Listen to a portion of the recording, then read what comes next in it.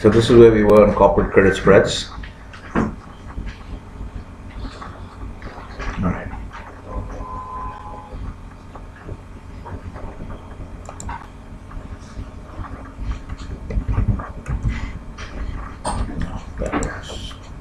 Okay, so we keep it at 100. Can you guys see? Sahil, can you see on the last bench?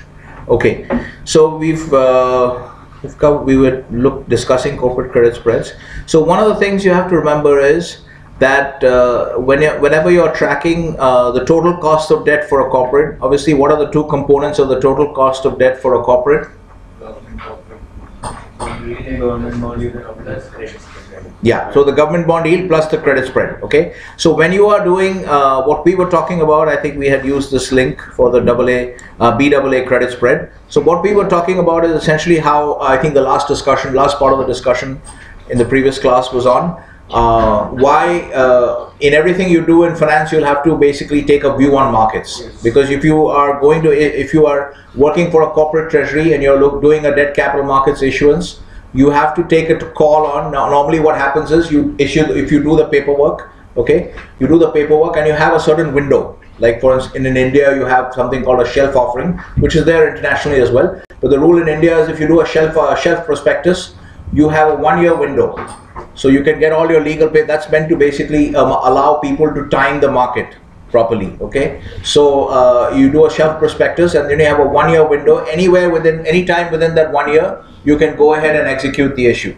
Okay so this is what so there are different time frame in different jurisdictions the time frames will differ but typically that's how it works. You get the legal approvals regulatory approvals and then you wait and you have a certain window in which you can uh, make use of that time and uh, optimally time the market. So every every kind of uh, corporate uh, decision in, with regard to finance involves taking a call on markets because obviously if you decide that you're going to go ahead with the issue that means you're one of the things if you assume that the corporate bond yield is not going to change much okay so here we're looking at the spread okay here we're looking at the credit spread okay, because it's corporate bond yield uh, 10 year treasury. So we are looking at the credit spread. So you can notice it's around 2.5%, it's 2.3%. So if you go ahead and do the issue and let's uh, assume that you don't, uh, you, you, feel that the corporate bond yield, the government bond yield is not going to move much. Okay, it is constant. We'll come to that. This is the ceteris paribus assumption. Essentially, if you are assuming, uh, if, if you are going ahead with the issue, that means if you that means you feel that corporate credit spreads are likely to rise further. That is, your total cost of debt will go up. This is clear a ceteris paribus argument. If you are just assuming that the government bond yield will not move, okay. So essentially, what that means essentially that takes us to the next part of the uh, the discussion, which is that uh, you have to be tracking, but obviously in real life the government bond yield also moves. So if you are at the point I'm trying to emphasize here, because this entire module is on the skill sets that you need to operate in different roles in the financial sector, right? So one of the skill sets, because remember in corporate treasury, the most important function is capital raising and the bulk of capital raising is in the form of debt. So one of the important jobs you'll have is in time, one of the important skill sets you need to have is how to optimally time the market. Obviously that's not a science, okay, you have to evolve, but you have to focus on this aspect. This is what you have to be focused on. You have to be tracking the credit spread, you have to be tracking the movement of the credit spread and taking a view on which way the credit spread is going to go. And you also have to be tracking the, the this is the US 10 year treasury which is what has been subtracted from the total corporate bond yield to give you the credit spread. Okay. So remember the market normally works in terms of the debt market discussions which happen, as you will see in the Saudi bond pricing case. They don't normally involve in the case of corporate bonds and for any sovereign which is not issuing in its own currency. So if, if Argentina is issuing US dollar bonds, they will get treated like any other corporate as far as the discussion, the framework of the discussion is concerned. Okay. So any so so what will happen is you you will basically the the discussion in the market is in terms of the spread over the treasury, the spread over the government bond benchmark. If we want to talk in general terms, okay. If you want to talk in U.S. dollar bond uh, with respect to the U.S. dollar bond markets, we can talk about the U.S. treasury. So when you're talking about U.S. dollar bond markets, the discussion is going to be of corporate bond pricing. The discussion of corporate bond pricing is going to be in terms of a spread over the treasury. They will not discuss it in terms of an all-in rate okay? Because everybody knows where the treasury is they know how to find out the yield on the treasury. So the discussion is only in terms of the negotiation happens in terms of spread over the treasury. So yeah. Yeah what i'm trying to say is if you look at the debt market parlance okay how the debt market discusses discusses corporate bond issues okay uh, essentially what they would discuss is they are going to discuss the whole corporate bond yield. Okay, the yield on the corporate bond, they're going to discuss it in terms of a uh, spread over treasuries. They will not discuss outright rates. Okay, they will not discuss discuss an all-in yield of six percent, six and a half percent. They will discuss the negotiation that happens. Okay, the negotiation that happens is in the form of a spread over treasuries. So the investor, whether institutional investor, if you're like on the distribution side of a debt capital markets operation, okay, if you're on the distribution side of a what what uh, distribution will happen in primary capital markets or secondary capital markets? Primary. primary capital markets. So if you're within the debt, uh, the DCM division of, a, of an investment bank in the primary capital markets, if you're on the distribution side, if you're going to investors and trying to sell them various bonds issue, bond issues like Argentina is coming up, Intel is coming up, okay, uh, and with, with, bond issues, and you're trying to sell them to the investor. So the investor, the institutional investor, is going to ask in term. So he's going to ask, okay, I want, I, I'm happy to buy this uh, Kingdom of Saudi Arabia bonds, but uh, what spread are you paying over treasuries? Okay, and remember the other point that we discussed. Every time you discuss an interest rate, you have to always be clear about one is the tenor. What tenor are you talking about? And the other is who is the what is the credit grade of the issuer? Rating. credit rating of the issuer, okay, or credit grade of the issuer. So essentially the issuer's name, and then from there you find out the credit grade. Because without that, it doesn't make any sense. Because as you can see here, the at any point of time, this is only the BAA spread. If you look at this chart, at any point of time, obviously there are, you can see that the the higher rated corporate bonds have a lower spread than the lower rated corporate bonds okay? So therefore unless you have also specified the credit grade credit grade of the issuer the discussion of the interest rate does not make any sense. It's not complete. Is this clear? Okay. So uh, the the point that will happen the what will happen the discussion that will happen between the institutional bond investor and the distribution guy from the DCM division of within the primary capital markets of an investment bank is going to be the guy will say the investor the portfolio manager uh, who is going to be buying the debt is going to say, okay, I'm happy to buy the Saudi bonds, but what spreads are you offering over treasuries for each of the maturities? The treasury would be Saudi, uh, Saudi Arabia treasury. No, if you're using in US dollar, if you're using a, issuing a US dollar bonds, a bond, you will be benchmarking against US treasuries. Okay, if you're using a Japanese yen bond, then you will be benchmarked against uh, Japanese government bonds. Okay, so that's where the benchmark. That's how the benchmarking will work. So this is so. The, is this point clear? That the discussion in corporate debt markets happens in terms of a credits for corporate uh, debt will happen in terms of a credit spread. The people don't discuss how much are you going to pay me 6%, 7%. They will say how much, what BP spread are you paying for each tenor? Okay, what BP spread over treasuries. So as a, if you're working on the corporate treasury side for a corporate trying to raise debt, you have to monitor both. You have to monitor because both of these things will affect your uh, total cost of debt. So you have to keep an eye when you when it comes to timing the market. If you look at this, if you look at if you take the maximum data, we don't have a lot of data here. You have to be aware of these long-term cycles. At least we have it from say 86. You can see how credit spreads have moved for BAA, which is just about investment grade. One notch below this, you go into junk. Okay, so you can have a, you should have a historical perspective. You should always look at long-term charts. You should have a historical perspective on credit spreads and where do you think they're going that's one thing you have to track and you also have to track obviously the treasury bond yield as well right? Because that is also going to affect your cost because your total cost is credit spread plus bond yield. And this bond yield is not constant obviously in the real world. Although we, we assume that as part of our ceteris paribus discussion of the credit spread just a while earlier. But in the real world as you can see the bond yield is not constant okay? So therefore you'll have to monitor both because both of them are affecting your corporate uh, your total cost of debt. Okay you have to take a take a view on both the markets and and uh, then accordingly uh, take your decision. Is this clear to everybody? Yeah. Yeah. Yes i'll give him the mic if we can. let's use the mic if we can.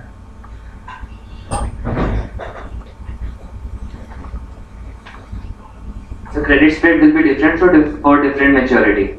Yes yes We'll see the that. Higher the maturity, higher the credit spread. Not necessarily. It depends on the market's view.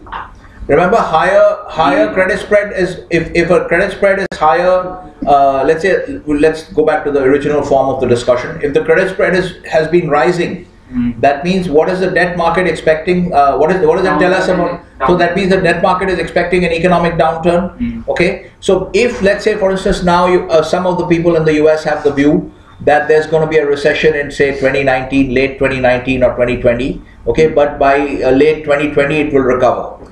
So if that is the market's view, then obviously it will affect the views of let's say two-year debt, two-year at the two-year point, Yes. credit spreads might be a little bit high. Okay, but if the view is that after that there will be a strong recovery, Mm. then maybe for five-year debt it won't be so high. So it is possible. It's not necessary that credit spreads will always be higher for higher uh, uh, periods, for higher tenors. Normally you would expect that, but it's not necessary that it's always the case. You have to be. This is not a law of physics because it depends on market views. Okay, so it can change. But the point is that there'll be different credit spreads, obviously, for uh, different maturities. Okay, so now if we go back to our, so is this point clear that as, as, a, as a corporate treasury, you'll have to monitor both. Your total cost of debt is affected by the government bond yield as well as the credit spread. So you have to take a view on both the markets. Okay, and then accordingly do your uh, issue, time your bond issue. Okay, so let's go back to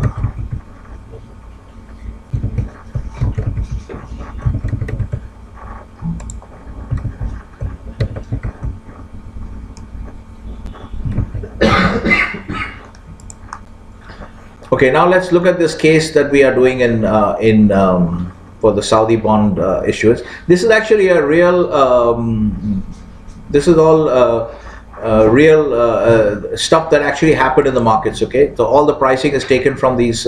Unfortunately, these things have now gone. These articles have now gone behind a paywall, so I can no longer read the full article. Okay, but you guys will be able to read ten articles, and after that, you get hit by the paywall. Okay. So uh, anyway, so what you can do is you can read the full story. Maybe what you can do is because this is a uh, it's an interesting story. So maybe what you can do is open it up first uh, because you'll be able to read the full story. Then save the story as a PDF. Okay. Uh, screenshot is not uh, nice to look at later on. PDF is much better. I think if you try to print it, it uh, it goes into a PDF. If you try to save it, it goes into a PDF, right? Then save it as a PDF. Then you have it online. I mean, you have it available, right? Offline.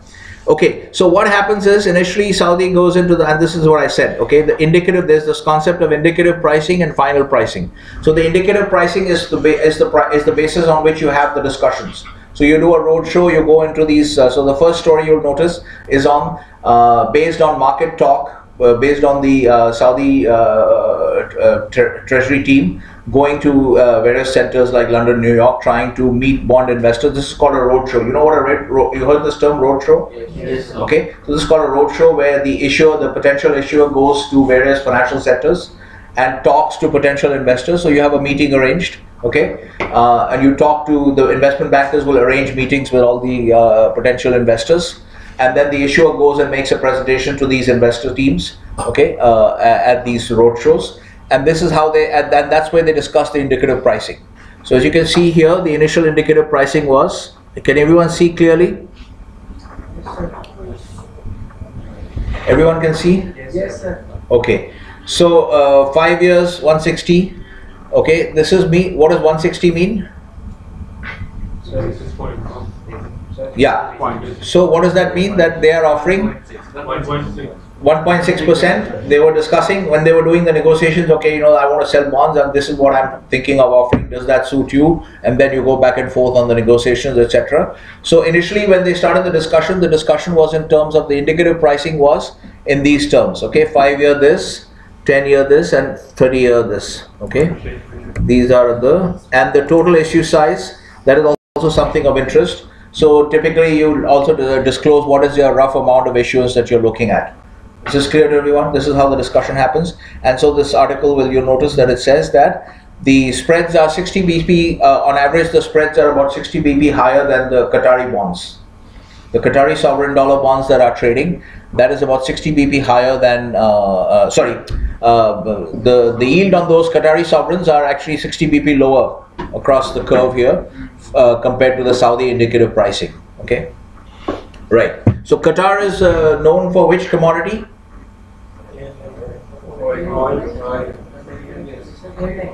What? Commodity. Uh, not uh, not airline. I said commodity. Qatar is no no. You guys should know this. This Qatar is very close to, and we have actually a very big deal with Qatar. Natural gas. Qatar has, I think, the world's largest reserves of natural gas. Okay, and we had a big natural gas. We still have that arrangement. We changed some of the terms of the arrangement. So India buys a lot of natural gas from Qatar. Okay, so um, now, so so this is basically this is some this is all things that you guys should be aware of. Okay, so eventually what happens is so this is how the indicative pricing happens, and the eventual pricing turns out to be much better because when they actually launch the issue, okay, after the indicative pricing, they will actually launch the issue. And then it goes live, okay, then you're supposed to submit bids, okay, and eventually what happens to the final pricing? Can you see, is it better or worse? Here I've actually, I've already given you the clue. So I should maybe delete this. No, you've already seen the answer. You've already seen the answer. So if this is the indicative pricing, So this indicative pricing is credit spread. Yes, that is what I was telling you. That in debt back, in debt capital markets, the discussion on bond deals is basically on corporate, uh, any corporate or any sovereign who is not not issuing in their own currency. Like Kingdom of Saudi Arabia is a sovereign, okay, but because they're not issuing in Saudi riyals, they are issuing in U.S. dollars. Their discussion of their pricing will also be the same as as if, like, say, Airtel or Intel uh, issuing bonds as a corporate. The discussion framework is the same. Okay, is this clear to everyone? Okay, so the final pricing is much better for Saudi. Can you see that? Five year drops from 160 to 135. 30 year drops from 235 to 210. This is the final pricing. So the- finally, the bonds were issued at these spreads. All right. So if I just So uh, this was the first price and this is the accepted price. Yeah, that is the initial discussion. Like if I'm trying to sell you my house, I'll say I want to sell it for two crores, and then we go up and down on discussions. Then you say no, I can't pay that much. Can you make it 1.9 or something like that? And then eventually maybe the deal will go through at 1.92 or something like that. So that's how it happens, right? So is this clear? Okay. So the final pricing, as you can see, is this is how. So eventually, what you see, and and then you see something else here that there is the uh, the what happens to the total issue size. They start out by discussing 10 billion. Sir, increase. It is increased to 17 and a half billions, okay? billion 17 and a half billion because there is excessive demand uh, for the, the very high demand for the bonds. When they launched the issue, they found that there was very high demand for the bonds. Okay, so that's why the that explains the collapse in the spreads. That explains the collapse in the spreads from the indicative pricing, but the indicative pricing is just one or two days before the uh, actual. Uh, if you see the report, okay, it's We are saying the difference in the pricing because bonds are traded actively trading in the market of the US. But in case of India, it is not possible to have the this pricing difference. No, no, one minute. Let me just explain what I'm saying.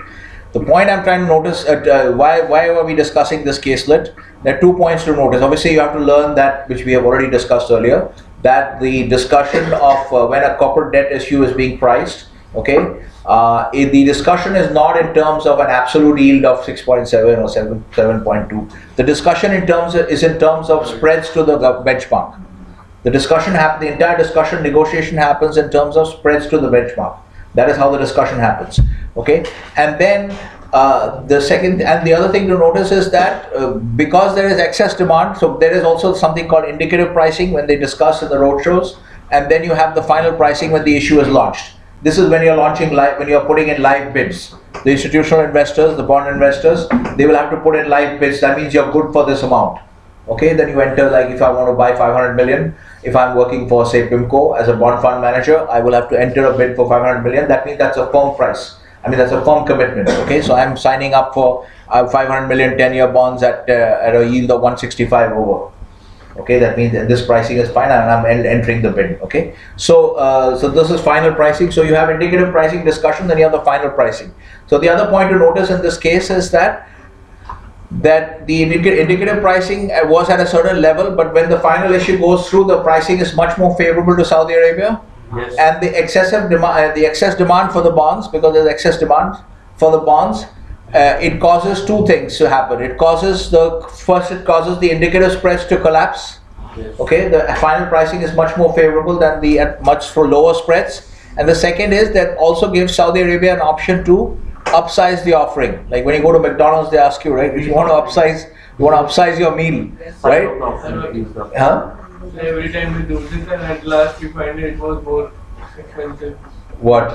by opting for a. Okay, in Mc- at McDonald's. So Saudi, the Saudis have upsized their bond issue. Okay, so they have ups, uh, opted for this is called a green shoe uh, green shoe option, where there's an option to uh, basically increase the size of the issue. You'd have a discussion of on in terms of 10 billion, but then finally you end up issuing 17 and a half billion because you find that there's very uh, strong demand for the bonds. So the point to notice here is that when you have excess demands, two things can happen. That one is that the indicative spread will collapse in the final pricing, and the second is that the size of the bond issue can be increased, okay, by exercising the green shoe. Is everyone clear now? Okay, so this is how debt price is. So eventually, what will happen is when you see, um, so when you see the final uh, news wire, if you're monitoring news wires, if you're working corporate treasury, you will see that let's say whatever um, we just talk about one of those. Um, I'm just giving a you 30 years from 16 is 46.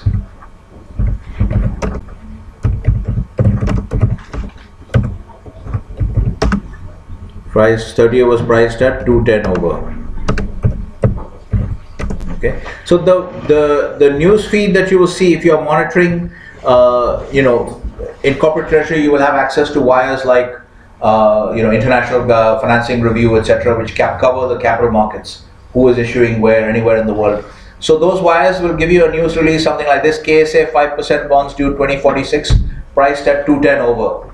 Okay, what this means essentially is that Five this bond rate, five percent is the coupon rate. yes, and 2040, 46 is the maturity, Yes, and two, 2010 is above, that is. not 2010, 210. 210, sorry, above indicative pricing or above base points, that is over.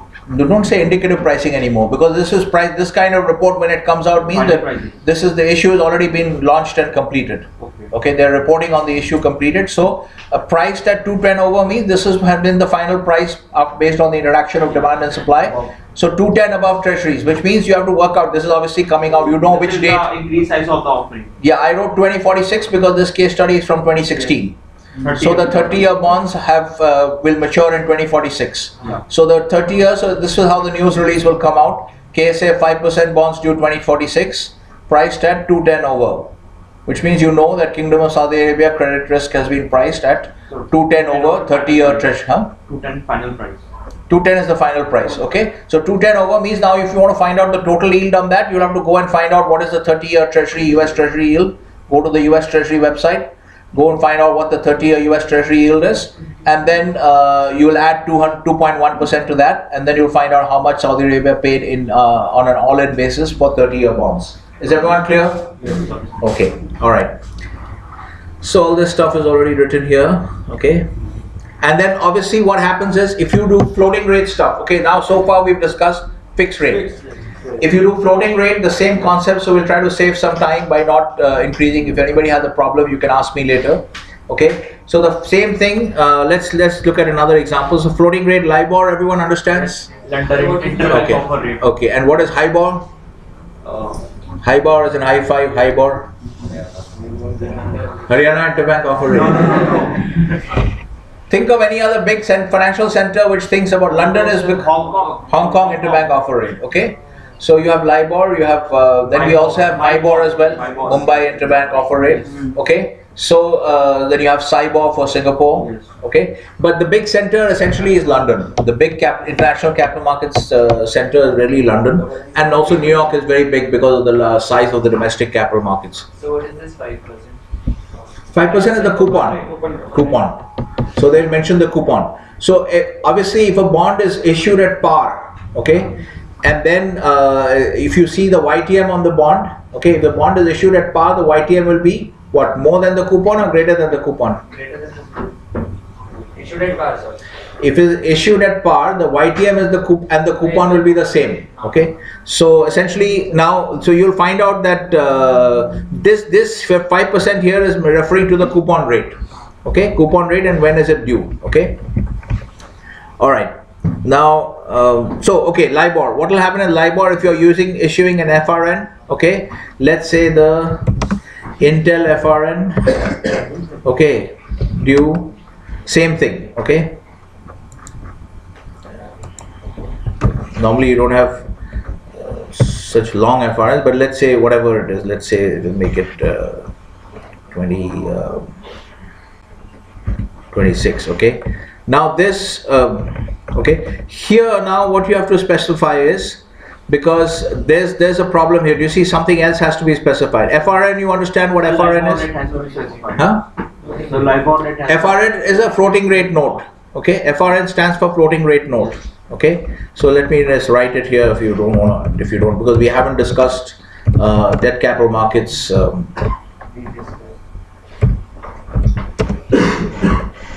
Okay, floating rate note. Okay, all that it means is it's just like a bond, but it's uh, the coupon is not a fixed rate, but it's a floating rate. So it is priced at a spread over a LIBOR uh, rate. Okay, but what is the problem with LIBOR? If I just say if I just say Intel uh, FRN due uh, 2026 priced at uh, 210 over. Okay, is this uh, is this uh, information complete? Even if I write LIBOR, what is the what is the problem? The LIBOR rate is missing and uh, the, The first year- the, the, the year- maturity after One minute. LIBOR rate is missing. LIBOR rate you can find from the internet. And uh, it is uh, like uh, LIBOR rate is subjected to change after every six or nine months. So that's why it's a floating rate note. Uh, Is my question clear? One minute. Let's be very clear about the question. Earlier, when I priced, when I gave you information on the five-year on the on the fixed rate bond issued by Kingdom of Saudi Arabia, if this news release tells you everything you need to know, okay, this will also mention five percent semi-annual or annual. Okay, this you can uh, this news release may not mention because the five percent coupon, whether it's paid semi-annually or paid annually, those things will be mentioned. That you look at at the term sheet. Okay, but it will definitely not be mentioned in the in the uh, news release. Now uh, Intel FRN due 2026. It's a 10 year. Let's say it's a 10 year FRN. Okay, due 2026, and this news release is coming out in 2016. If we say priced at 210 over LIBOR, okay, let's make it a different spread.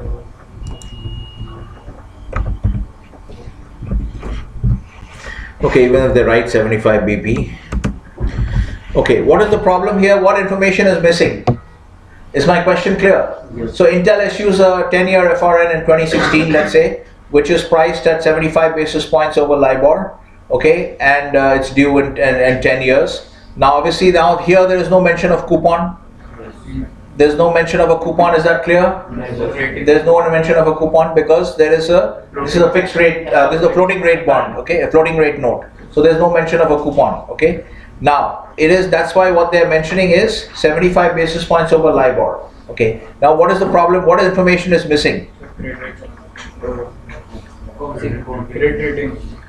You don't need the credit rating. It's only telling you how much uh, Intel has had to pay. It's reporting on a bond issue, on an FRN issuance. Yes.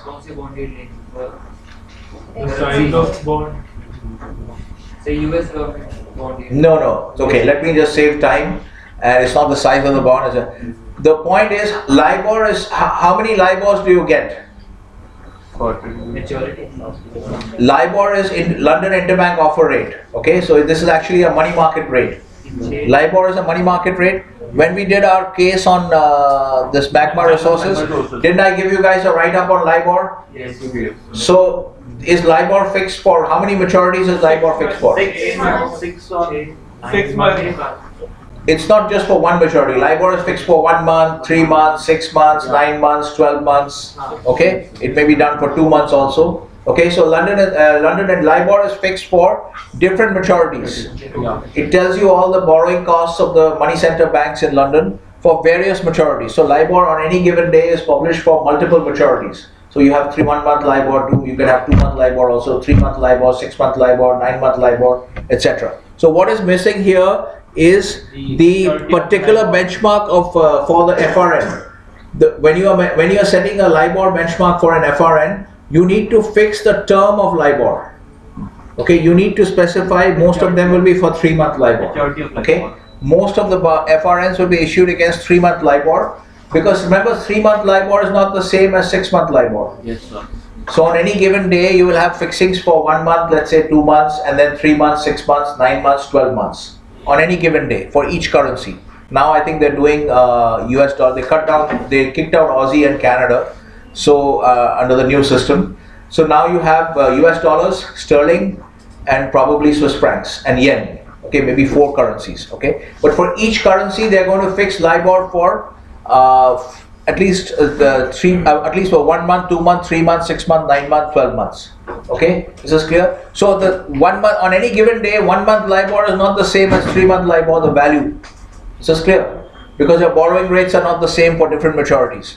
So therefore, when you're fixing a benchmark for a floating rate debt issue, you need to specify what is the term of LIBOR against which you're benchmarking. Is it six month LIBOR? Is it three month LIBOR?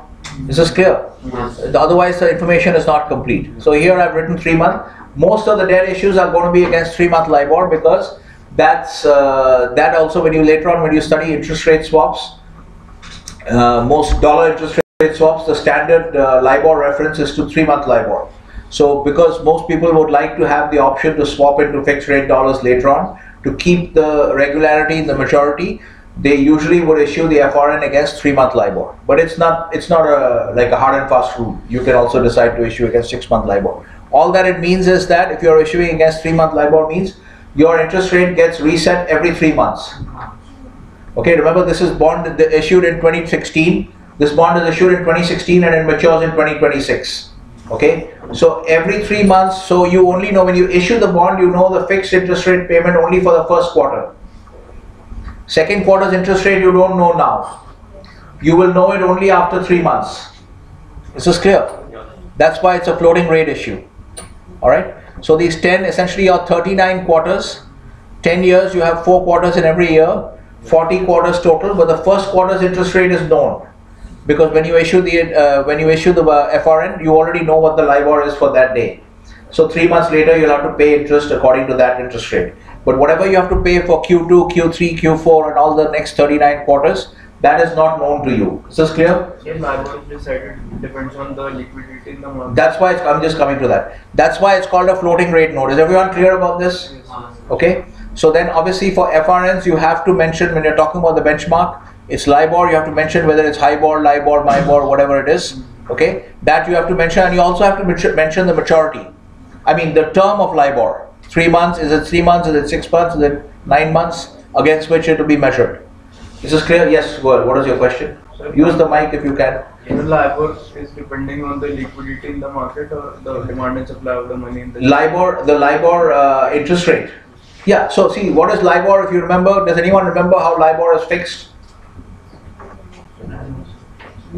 Okay, so there have been some changes to the mechanism. Now it is called ICE LIBOR. ICE is the Intercontinental Exchange because there was a massive LIBOR fixing scandal. Okay, that happened in uh, in the aftermath of the uh, uh, GFC. Okay, in 2008-9. So essentially, how LIBOR used to be fixed was the uh, British Bankers Association would go and call because remember London is a very big financial center. So you have banks from all over the world, Sumitomo, Mitsubishi, Westpac, everybody, Canadian Imperial Bank, etc. Everybody's got big branches in London, and they're all borrowing between each other, uh, from each other, lending to each other. This is called the Euro markets. Okay. So in this market, when they're borrowing with each other, borrowing, lending to each other, the BBA, the British Bankers Association, would poll. So it's a survey. LIBOR was a survey essentially. Today also it's also a survey, but it's better controlled, hopefully. So a, it was a survey, okay, and they would survey the banks and say, okay, you call up Barclays London and you say that, okay, today if you have to lend to your um, other money center banks, okay, uh, at what rate will you lend for each of these maturities? So then Barclays will say that for one month I would lend at uh, or at what rate are you able to borrow? Okay then they will be po- separately uh, polled also for lending. So you're at rate at what rate do you think you can borrow for these maturities? Okay is this clear? It's a survey. So you call up the various banks and you figure out what are their borrowing rates for various maturities in each of those currencies. And the earlier days they used to have aussie and canada as well. Those banks who have surplus funds would like to lend at the lesser interest rate, and those who why would you lend at the literature? Then I want to borrow money from you. If you want to lend, if you're a lender, you want a lower interest rate or a higher interest those rate? who have, they would like that their money should be given to those, their money should be lended. And it's Not lended, there's no such thing as lended. Lent. Lent. So sir, जो भी Use the mic, use the mic. Where's the mic? Sir, those banks would, uh, which have the surplus funds would The like mic to- is not working. Yeah. Those banks which have the surplus fund would like to that their funds must not be freely uh, put as reserves in their balance sheet. Yeah, So the they would funds like- should not be idle. They want to lend their funds. Yeah. So essentially, you have surplus and deficit funds. It's just like what we discussed in the in the general capital markets case. Okay. So they would be borrowing and lending from each other. So it's a survey. LIBOR is a survey of these various banks trying to figure out at what rate they they are able to borrow today. What oh, at what rate do you think you can borrow today for one month, two months, three months, six months, nine months in say Swiss francs, and then repeat this exercise for all the other currencies. And then you poll i think they were polling about 11 banks or 14 banks and then they would leave out the two most extreme observations and then take an average of the rest okay? So this is just a uh, this is a survey data. I mean essentially libor is survey data but libor is very important because trillions of dollars of debt worldwide are priced off libor okay literally because the us capital markets are the us dollar capital markets are the deepest in the world so everybody is trying to issue in those markets and the volume of debt uh, which is priced off LIBOR is massive. Okay, huge amounts of LIBOR, and now they're trying to transition to some other uh, benchmarks as well. I forget the name of the benchmark. I think it's secured uh, something. I'll have to look it up and tell you. But there's a new benchmark now, which the US, I think it's this um, SOFR. It's called Secured Overnight Funding Rate. Okay, SOFR. Because of the scandals in the LIBOR fixing, they have tried to move towards because LIBOR is based on survey data. Okay, LIBOR is based on survey data. Hmm? The data must be biased. Yeah, so that this whole LIBOR scandal, you guys should also be aware of this. What happened in the LIBOR scandal is because many of these money center banks had bad uh, assets on their books. Okay, as you know, many of the banks were they had to be taken over. They had to be bailed out by the government. So they had a lot of bad assets on their books. So their credit ratings essentially, I mean, they were uh, downgraded much later. But the market did not want to lend money to them. Okay, the market was very wary of dealing with them. So therefore, they wanted to understate the rates at which they were able to borrow. Actually, they were not able to borrow at such high rates, but they lied essentially. They lied about. That's why LIBOR started being referred to as LIBOR. So the joke in the industry was this: that LIBOR was called LIBOR. LIBOR. Okay. So this was called LIBOR, and there's a um, this was a very big scandal actually. Uh, this is a case study in itself, LIBOR, and uh, what. um so what happened uh, in uh, in the uh, in in uh, I got distracted because I saw Gunjan looking at the clock. so, all right. So, uh, so this was called LIBOR because the banks. So you have to understand the LIBOR scandal. We don't have enough time to cover it, but at least you should understand the basic idea. Is first you have to understand that LIBOR used to be a survey. It is still a survey as it stands, okay? But hopefully it's conducted with better checks and balances. So they would just go and ask the banks, how much do you think you'll have to pay to borrow at three months, uh, for three months in Swiss francs, nine months in Swiss francs, etc., and repeat for all the currencies. It's like we fix our monetary policy or any central bank fix. Sorry, Sir, why not we use the mic. why not we fix the LIBOR rates? As we decide our monetary policy or any country economy decides its uh, monetary policies, like there are five people in the monetary policy and they vote in favor or against the No, that LIBOR is intended to be a market rate. So what is actually happening in SOFR? What is happening in SOFR is uh, in SOFR they are trying to uh, go move from survey data. They're trying to move from survey data to actual transactions. So the idea behind SOFR is to now base the uh, cost of borrowing on instead of basing it on a survey, which led to all these problems of the scandal of LIBOR. Uh, they are trying to now base it on actual borrowing transactions in the market between money center banks. So that is much more realistic because actual transactions don't lie. Okay, no one will lend to a poor credit at a low interest rate. All right. So essentially, what happened was try to understand the LIBOR scandal. This is also important from the point of view of understanding the history of financial markets. That essentially what happened in LIBOR because the uh, in the GFC uh, these uh, all these residential uh, mortgage bonds were falling. Okay, the banks had bad assets on their books. Nobody would lend to them. So the banks tried to understate their risk, the quality of their uh, the the problems with their credit quality. So when they were being asked at what rate do you think you can borrow, they were actually uh, quoting very low rates. But in fact, they were not able to borrow at those rates. They were able to borrow only at much higher rates. But if they had disclosed to the market that the cost of borrowings for banks is going up, markets would have concluded that this means that people think these banks are much risky, much riskier than we think, right? Obviously, you will charge higher interest rates if you are going to lend to a riskier, uh, riskier borrower, right? So profit would be eaten up by the debt and the interest payments. Yeah, profit would be eaten up by the interest payments. So these banks, they wanted to conceal the extent of the credit pro- problems on their books and the, the the decline in their actual credit quality, and so they started to lie about the rates at which they were able to borrow. So LIBOR became artificially depressed and artificially low. Okay, for this period, and eventually the scandal was investigated. A lot of people were sent to jail. That's why Okay, there, is need, there is need of regulators in the market. The other day you were saying that we should free the markets. That is what the Well, I don't agree that I don't agree because actually, uh, in the first place, it was a stupid system to base such an important index on a sur- on survey data. You should you could have already seen the conflict of interest that if there is any situation where banks have an, everything in law in in the, uh, in economics is based on incentives. Okay, economics most of the laws don't work, but there's only one law that always works. Okay, which is that people respond to incentives okay? So that so if you had a system which is basically uh, like somebody has a famous quotation that uh, you show me the incentive and i'll show you the crime. Okay? You have to see where the incentives of people are in the system based on the system how it's how it's uh, designed and you can already predict what kind of problem is going to come up. So it was a stupid system in the first place. Okay? And so this move towards SOFR is much better because it's based on actual transactions. All right you'll get slightly delayed data but that still work okay because the quality of the data is much better okay? So i don't agree that it necessarily requires regulation. I mean this is not a case for regulation. Okay? So uh, so is this point so libor essentially that's the problem that's a libor scandal. So eventually they investigated these people and they put them in jail. All right okay. So this is the pricing of floating rate notes and fixed rate notes. Okay. Now let's quickly go uh, this i've already written and i've already told you guys about all this. Okay. Um, i think this is also i put this in your folder so the last thing that we have left remember the entire discussion is happening in the uh, list of uh, to discuss the prototypical firms in the financial services sector. And the last entity that we have, while discussing the government treasury, we had a long discussion on the uh, debt capital markets, which is very important for you to understand how the market works. Okay, uh, and uh, so the last thing that is left is the corporate treasury. Uh, that is the CFO's office. Okay, we can okay let this be. So this uh, will just okay. One last thing I wanted to tell you before uh, this. This is a very common mistake that people make in the market. So I just wanted to um, write down two statements which you should be aware of.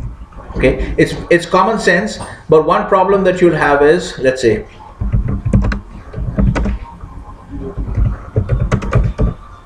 I'm not going to write yields. I'm going to write YTM.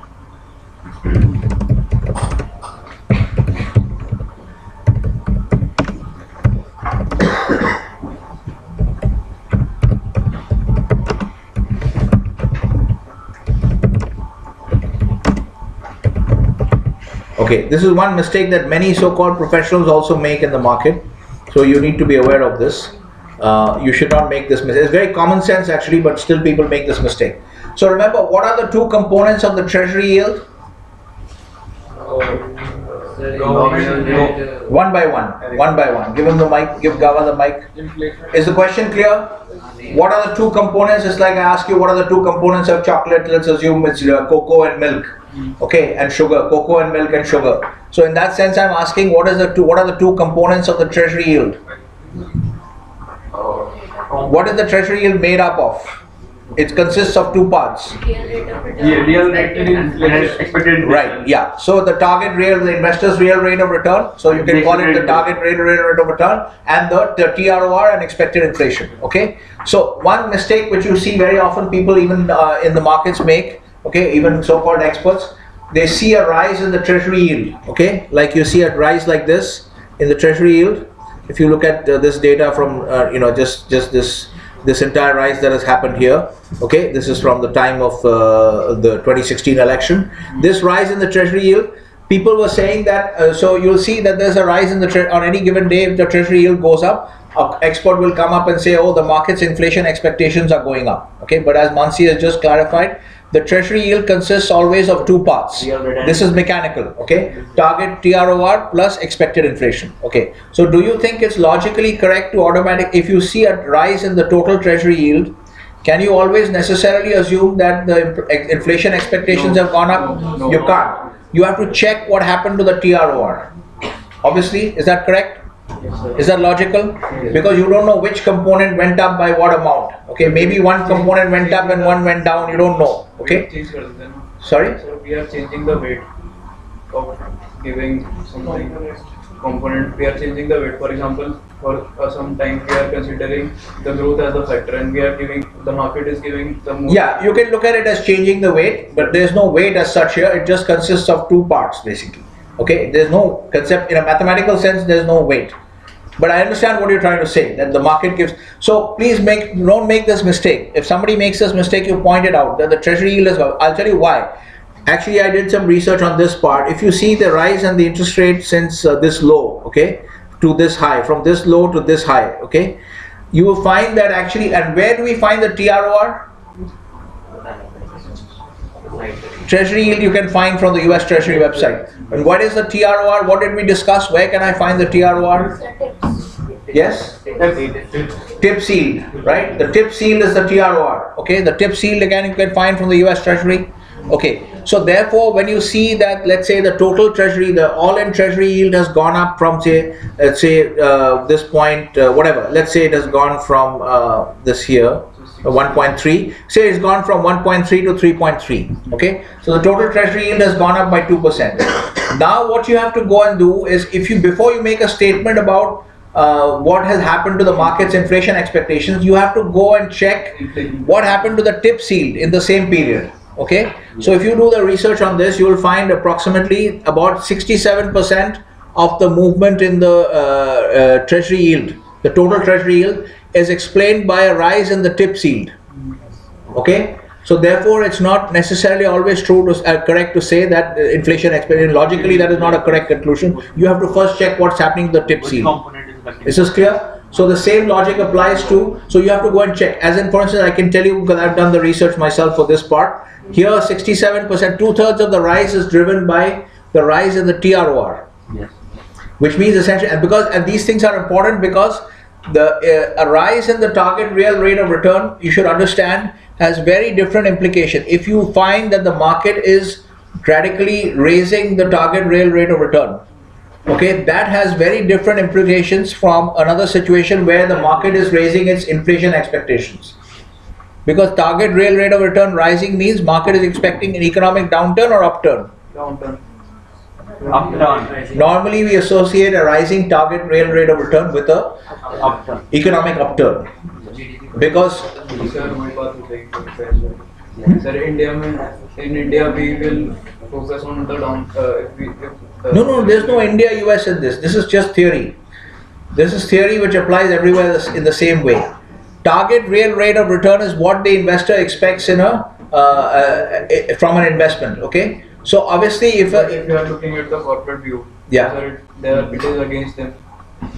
target real rate of return is always discussed from the investor's point of view not from the corporate's point of view not from the corporate borrower's point of view is everyone clear about this Yes. if you have any doubts let's clarify it now so i mean don't just take it just because i'm shouting and telling you this okay that the target real rate of return you should understand it. If it doesn't make any sense then you can think about it and you can ask me later or you can ask me now.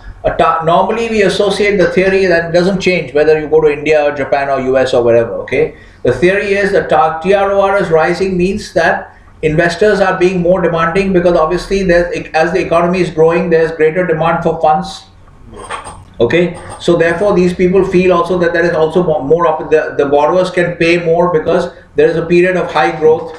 Therefore uh, everybody's kind of making money. All businesses are making money by and large okay? Because markets are expanding. So therefore uh, revenues are growing etc so therefore uh, the borrowers are also in a position to pay more.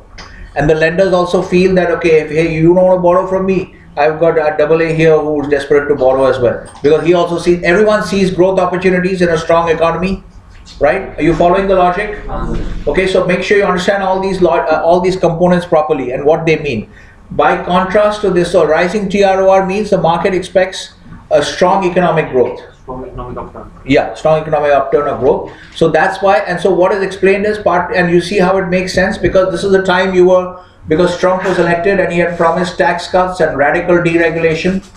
And radical deregulation had a huge impact on consumer confidence, business, small business confidence. Okay, and this economic growth started picking up. Now you see wages are also going up. Then you got the tax cuts after one year Unemployment. unemployment has fallen okay and you got the tax cuts so this is consistent with what actually happened as well okay so the market so the movement in the uh, total treasury yield is 67% is explained by the movement in the tror which means that the market what the bond market was expecting uh, a period of uh, rising e- strong economic growth and which was actually borne out by the results But sir, uh, in a long run, we have to keep in mind the perspective of both the investors and the corporate uh, borrowers. So sir, uh, it should not be no it is the only statement that the increasing trend would, would be beneficial for. No, no. What I'm trying to say, uh, no, I, I don't know which part are you objecting to. What I'm explaining is the theoretical understanding, okay, of uh, a rising TROR is that that is normally associated with the uh, with the market view. If you find that the TROR is increasing, okay, that means that the debt market overall is expecting a period of strong economic growth. Okay. Is- in, in India, uh, if the central bank is rising the interest rate, Not rising, the raising. raising the interest rate, so sir, it is not. Uh, uh, Use the mic. Use the the market mic. is not considering it as a favorable uh, instrument.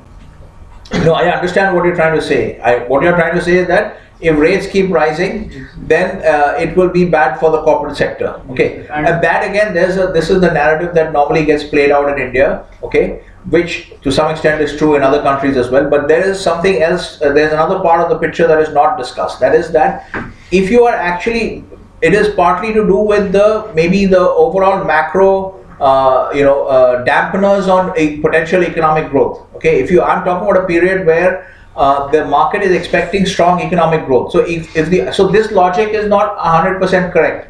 See, if a period, what happens is if you are expecting a, mac, a macro period uh, uh, in the macro economy, if you are expecting strong growth, like what you've seen in the first two years of the Trump administration in the U.S., it's been a dramatic economic turnaround. Wages are rising. Okay, economic growth is very strong. Okay, unemployment is falling, labor force participation is increasing, people are coming in. I just heard yesterday that Walmart is hiring truck drivers at ninety-two thousand dollars an hour, uh, ninety-two thousand dollars a year. Truck drivers. These are guys who are coming out of jail. These are people who have no, they have no qualifications. Okay, so even people are coming out of jail. People with who are high school dropouts, they are getting ninety-two thousand. Welders are being paid six-figure salaries. Construction, there's a massive construction boom. Welders are being paid six-figure salaries, and still they can't. There are one million jobs in the U.S. for which there are no people. So that's why you see that they are actually going to see now you see this there's also a narrative in the indian business press that you know this uh, uh, the uh, immigration restrictions are not going to be actually in the long run this is good for india. If the us moves to a merit based system because most of the indians immigrants are they have merit most of them you have some cheaters here and there who are going into fraud universities and all that but by and large most of our immig- indian immigrants from here to the us they are all skilled immigrants. We are not like unskilled laborer from Mexico or some or Honduras or somewhere going there. Most of our guys are quite well educated.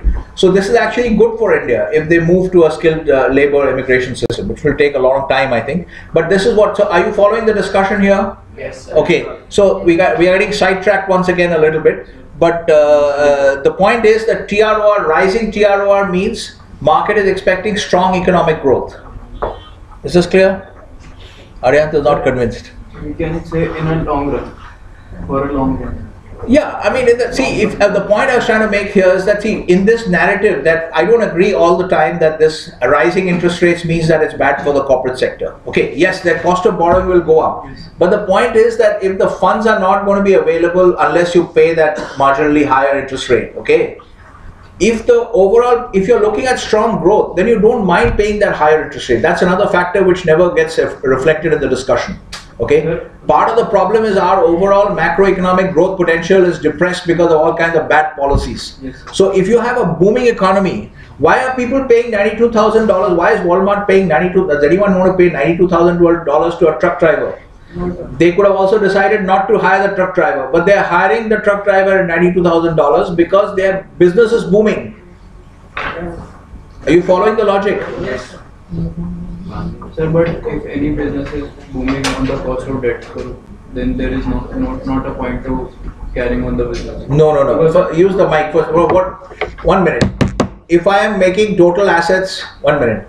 This is also an important financial relationship you guys should be aware of. Okay. Let's go use this discussion to go in, uh, because I want to make sure because corporate most of your interview questions are based on uh, corporate uh, financial statement analysis. Is that correct? Yes, sir. Most of your financial statements. Okay. Are you following what Goel said? Goel said there's no point raising money and buy, borrowing money at high interest rates if uh, now doesn't matter what the growth is, right? That's what Goel is saying. Okay. Now I'll write two more uh, points here, but is there any important return on total assets?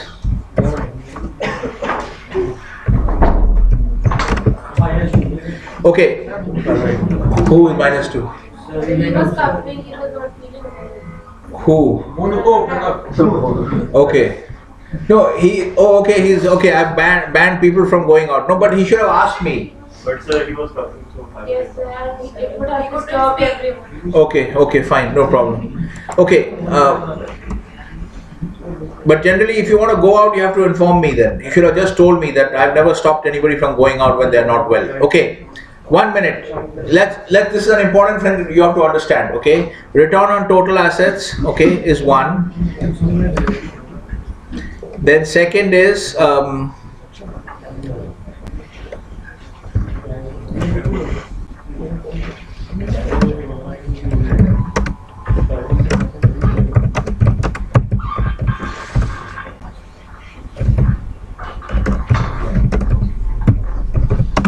okay.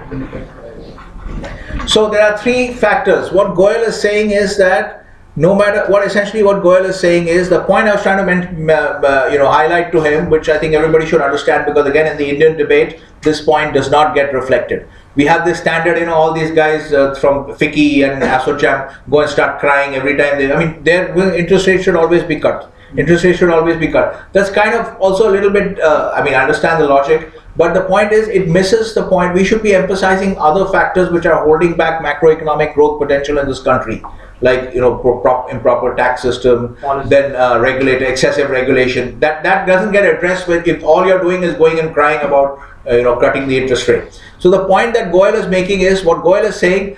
No matter what your return on total assets, if your cost of debt is going up, you should not borrow. That is, I'm, I'm twisting your words a little bit, but are you following what he's saying?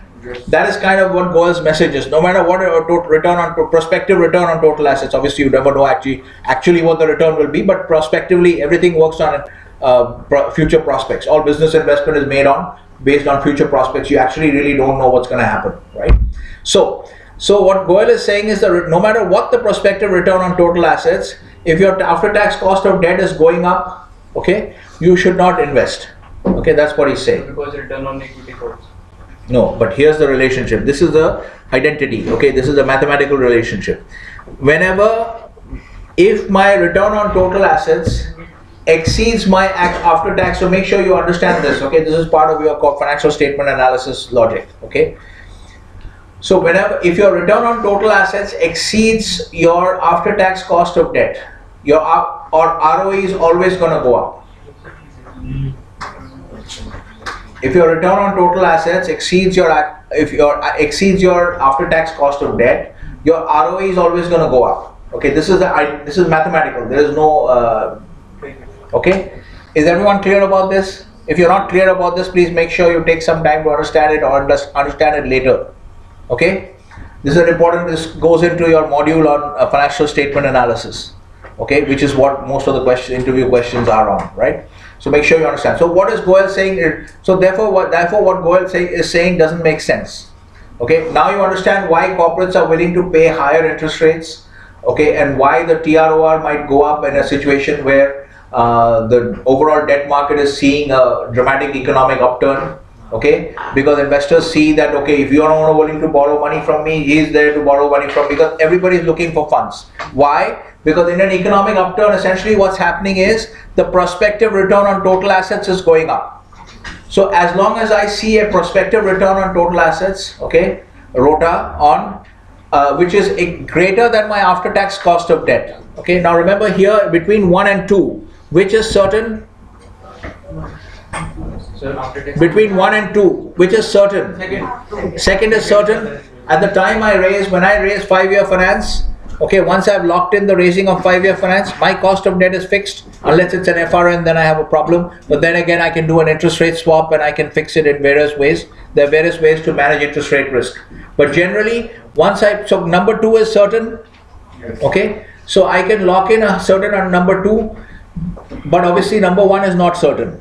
Okay, nothing, number one is never going to be certain, pretty much, okay? So, but if you're reasonably confident about getting a high number one compared to number much, much higher than number two, then you should always. So, if your ROA is projected to go up, you should invest or you should not invest? Invest. You should invest, right? Is this clear? Yes, sir. Okay, so therefore, it's not true to say that you should always. So what you said is not correct. So there's also something to understand that when when the uh, these people from FICCI and ASOCHAM are going and always crying about lowering interest rates, that they are missing an opportunity to point the finger at other problems which are holding other policy deficiencies which are holding back this country's macroeconomic growth potential okay? Like the need for deregulation and all these kinds of things. Okay so another point so the first point i was making is that the rise in the treasury ytm does not necessarily mean that inflation expectations are rising okay? Uh, just for you. Because tror may have gone up okay? As i showed you in the case of the 2016 2018 rise in us treasury yields okay? Uh, that is 67% of that is explained by the rise in the tror okay? So you have to check the tips yield also. The other mistake that people make obviously is therefore rise in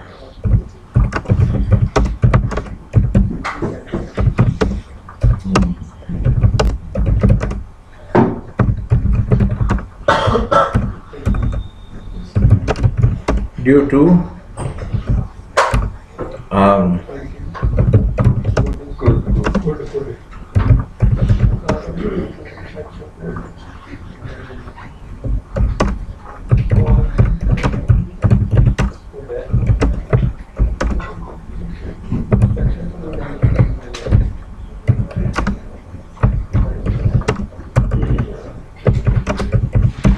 okay is this clear is everyone clear about this? Same logic.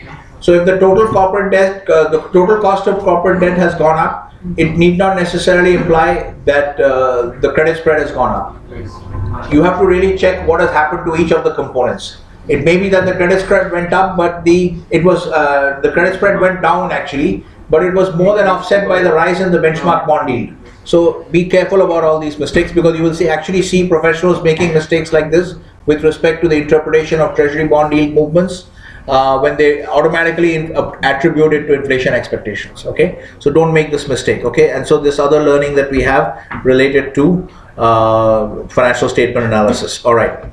Sir, all these things can change depending on situation. Yeah. what can change? Sir, these assumptions can change. which assumptions can change? This does not change. Third can this one minute. This is mathematical. This does not change. Be clear about this this is mathematical. The problem here obviously is that your rota is not certain. Okay? When maruti is setting up its new plant in sanand they actually don't know what the rota will act will end up being. They have a projection. Okay? But all kinds of stuff can happen because it will take probably 10 15 years to realize all those uh, returns. So those are but the point is mathematically if your assumption is correct about the rota being much higher than the cost of debt okay which is known to you and the return on equity is just a residual in this equation so this never changes mathematically this never changes the only problem in this is that the rota is not certain So suppose at the time you take the investment decision, the rota is not certain. It is subject to whims, uh, to the uh, changing tides in the economy. So suppose we have just started the business. Yeah, one minute. Let us see if we have a time problem. Yes, sir. We have three minutes. We have two minutes. Okay. Yes, let him let him complete his question. So suppose we have started. Use the mic. Use the mic. Okay. Who's talking at the back? Yes. Might be time. Suppose sir we have started just started the new business. So sir in the initial period the for say uh, hotel business. So sir uh, the ROI would be much more lower than the Again, much more lower. much lower than the uh, cost of the debt. So sir So return, one minute. So return on total assets. So you're, he's only talking about a situation where, again, this gives us an opportunity to link it to your placement decisions. Okay. Do you reject, if you have a project which has a positive NPV, but the first two, three years cash flows are negative, do you reject that project? No, sir. No. So similarly, when you are looking at your placement, don't take it uh, based on the first two, three years cash flows. Look at the NPV of the project. Okay. So what he is saying is that the NPV of the of a particular project may be what negative in the first two years. So when you are looking at when this ROTA calculation here, the ROTA projection is the total return that you are expected to make. Okay. So you look at the IRR of the project. Here, when I mean I, uh, ROTA, I am talking about the IRR. That's a projection. You don't know what is actually going to happen. Is this clear? Have you guys learned anything today? Yes, Okay, very good. Okay, please remember, I'm going to send you that report, uh, the spreadsheet format. I want people to respond quickly. Okay? All right. Who were the defaulting teams? I think I've shut that sheet now. Okay. So when you get them, make sure that everyone responds. Okay, you can go. 35 seconds. You get 25 seconds bonus. I need to ask a question, sir. Yes. Is it a technical question? Sir, uh, regarding to this only. Yes. Go Sir, ahead. five percent bond over two ten. Sir, there was. Sorry, 5% bond? One minute. ऐसे कुछ था ना तो line- One minute. One minute.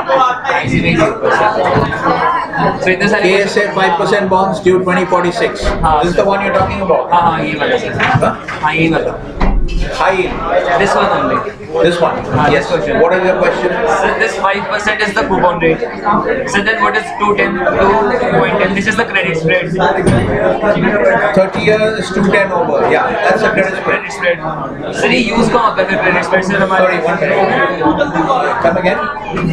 Sir जो हमारा board होता है उसे One minute. Speak in English. I one minute. One minute. I think your confusion is between uh, coupon rate and YTM. Yes, sir. So coupon rate is less important. So YTM is just like the IRR of the bond. Yes. Okay. Correct. Very good. Correct. Excellent. So YTM is like the IRR of the bond. Okay. So now the question is, um, don't get confused by the the coupon is just uh, incidental information, a piece of incidental information that is given to you to show you what the uh, what the bond's coupon is. Obviously, when you actually buy the bond, the money that you're going to earn, the actual cash payments that will come to you on a semi-annual basis or whatever the frequency is, is going to be based on the coupon. Okay. But what really matters in the market is the YTM. So So YTM is the yield on the bond. It's the, it's the yield to maturity on the bond. So Okay, it's the let's say- IRR on the bond as you let's say government bond yield is five percent Yeah. then the I- YTM will be seven point one Yes. 7.1 percent sir but the YTM will include the coupon No. One minute. One minute. coupon is the dividend Uh, it's just like the dividend The ITR, yeah, the IRR is the uh, the YTM is the IRR of the bond. Yes, sir. The coupon is just like that periodic cash flow which you're discounting. yes sir You following? yes sir So that periodic cash flow which you discount in the project to get the IRR, yes sir in that place when you're calculating the bonds of ITM, that periodic cash flow will be based on the coupon times the par value, the principal.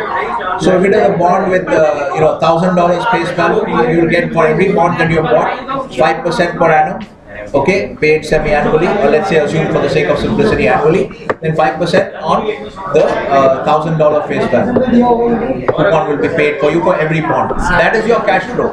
So, so the cash flow is different from the discount rate. Uh, the basic structure of your uh, you know uh, project return analysis, etc. The cash flow is different from the interest rate, from the discount rate. The IRR is a discount rate. Uh, yes.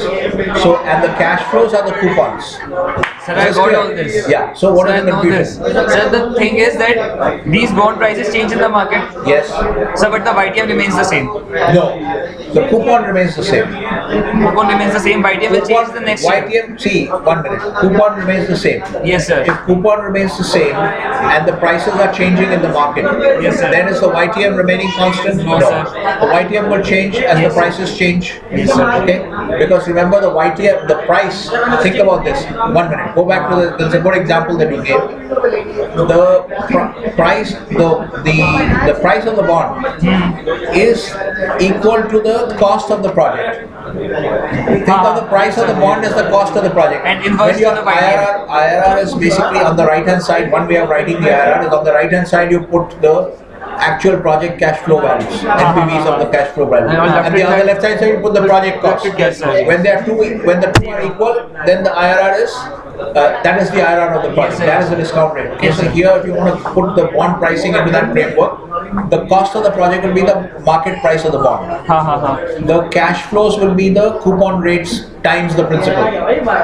Coupon rate times the principal. Ha, times the principal and plus the terminal uh, redeem pa- redeemed uh, value of the bond. Ah, principal value that. Uh, plus at the last period you have the coupon payment, the Yes, bullet yes. payment of principal, okay? Yes, sir. And then the discount rate is the, going to be the IRR, the that which makes the LHS equal to the IR, R, RHS. Ha ha ha. Okay, clear? अब आगे से- Okay, now you understand? So when the coupon doesn't change, after the issue the coupon doesn't change. हाँ coupon तो एक ही रहेगा will be same, okay? Will be But same. what will change is that White because the market wants to receive, always wants to receive the mo- market rate of return on the bonds. हाँ, market. The market rate of interest. Right. So the market will make the price go up and down to get the YTM that it wants. that it was sir एक lakh Is this clear now? हाँ sir अब आ गया Okay, Dava, you also following? Yeah. Go and listen to it, it's all recorded. recorded. Yes, recorded. Yes. That's why I asked you whether it's a technical question. Then I wouldn't stop the recording. Yes. So we had a long technical discussion. Yes. So just last thing. Yes. So I got asked many things. First line is for the primary debt issue.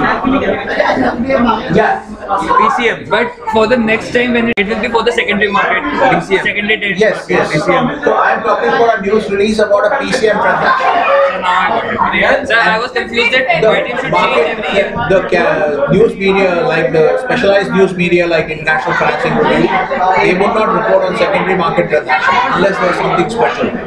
There's a large block trade or something. So that was that was the reason I was confused that it should change every year. The YTM should It can change change, every year. Depending on how actively you traded, it it can change all the time. हाँ. Okay, clear? Okay, good question. and it's good that you understood that uh, Please the explain that statement uh, which one doesn't show me the incentive and I will show you the crime. What that statement exactly means. incentive is essentially uh, come with me i'll explain that to you so incentive and showing you the crime means essentially people respond to incentives see why do people not talk that much in the class because they know if i catch them I'm- they're going to lose cp points. So people are responding to incentives. If i did not do that then they would talk a lot. Okay? So